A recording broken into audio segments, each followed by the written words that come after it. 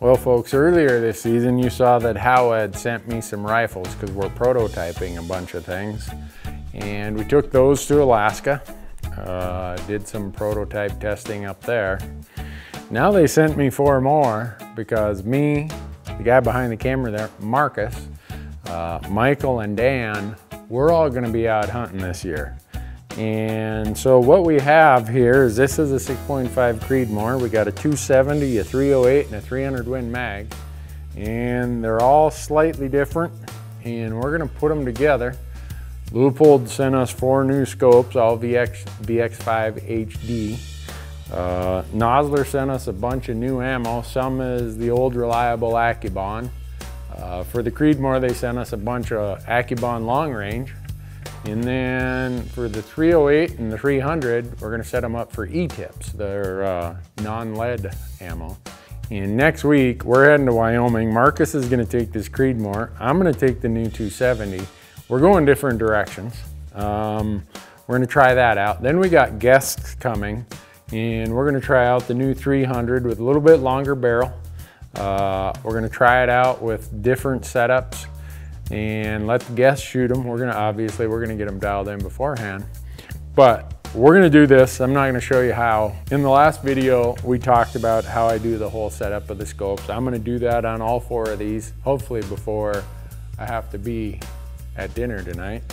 Uh, and tomorrow, we're gonna take all of these rifles out to the range and we're gonna start breaking them in and shooting and doing the normal drill, making sure our ammo is doing what it's supposed to do, that our scopes are doing what it's supposed to do, barrels broke in, everything's dialed in, so that when we go out in the field and start testing these, we know that the only likely problem is operator error.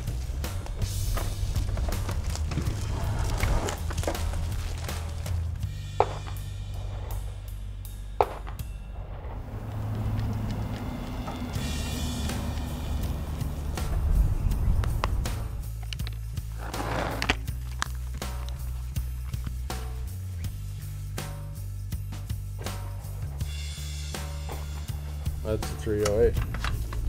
Better go get some 308 ammo. The maiden bullet. All right. We're gonna break in all these rifles, do 10 single shots, cleaning between each shot. Then we're gonna do 10 more rounds, cleaning every other shot. So 10 of them are bang clean, bang clean, bang clean. Then the last 10 are boom, boom, clean, boom, boom, clean. And then once they're zeroed or, or broke in, we'll start getting our zero. We can actually use the break-in process to get pretty close to our zeros. And one of the things we're doing is this is a 308 with the VX5. Uh, this one's gonna be set to shoot 180 or 168 grain Nosler E-tips. My other 308 is 165 grain uh, Nosler partitions have a 7mm08 here, have two of them with me actually. One I'm gonna, is already set for E-tips. The other I'm gonna set over to AccuBonds. Got a 270, gonna do some AccuBonds there. Uh, we got a 6.5 Creedmoor. We're gonna do some 129 grain AccuBond long range on that. The idea is we are having these companies, Howa, Leupold, and Nosler, send us all kinds of combinations of stuff because now that we're going into our rifle seasons, we got antelope, mule deer, whitetails, elk, uh, Coues deer, all kinds of things. The goal is when the season's over, we're gonna report back to Howa particularly of what rifle, what combo, what barrel taper, what barrel length, what cartridge seems to be the best for deer, seems to be working best for us for elk or whatever. So Besides that, a lot of fun to come out here and burn a bunch of powder. Very first shot is absolutely perfect left to right. It needs a little help on the elevation, but wow.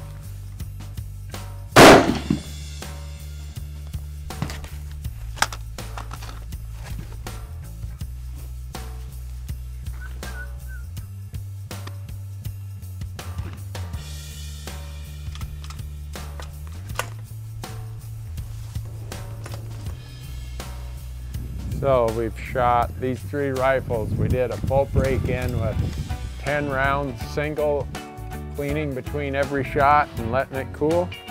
And then the next 10 rounds, shooting twice, cleaning and letting it cool. So now, what we're gonna do is we're gonna go to our actual ammo we're gonna be hunting with. And we've used this barrel break-in process to kind of get us really close to our zero. But now we're, we're gonna make sure that what we're hunting with is dialed in. As far as cleaning now, from now until I'm done hunting, unless I get an obstruction in the barrel, I'm just running a dry through. That's the only cleaning I'm doing until probably season's over or I somehow get a wet dirty or obstructed barrel. Dirty, I mean as in dirt. And one of the good parts about today is it's we got a pretty good crosswind. So it's forcing us to have to really focus and account for less than perfect conditions. Come out and shoot when it's not perfect because when you're hunting, it's probably not perfect. Thanks for watching.